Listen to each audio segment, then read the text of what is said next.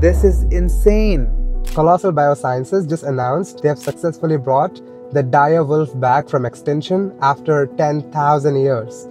On April 7, 2025, they revealed they have created three dire wolf pups two males born in October 2024 and a female in January 2025. The dire wolf wasn't just some fantasy creature from Game of Thrones, it was a real apex predator that roamed North America until it went extinct 13,000 years ago. How did they do it? This is where it gets fascinating.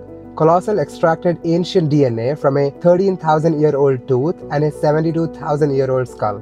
They identified key genes that made dire wolves unique and edited those genes into modern grey wolves. One critical gene they discovered was called the LCORL gene, which controls body size and growth.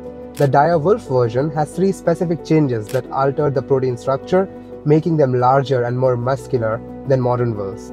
The pups, named Remus, Romulus, and Khaleesi, are now living in a massive 2,000 acre preserve in northern United States, protected by 10 foot tall zoo grade fencing.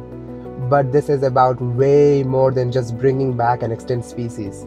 Colossal's technology could be the key to preserving future extinctions. Colossal is also working on reviving the woolly mammoth and the Tasmanian tiger. The question now is what other extinct species should we bring back, and what are the ethical implications? Drop it in the comments below.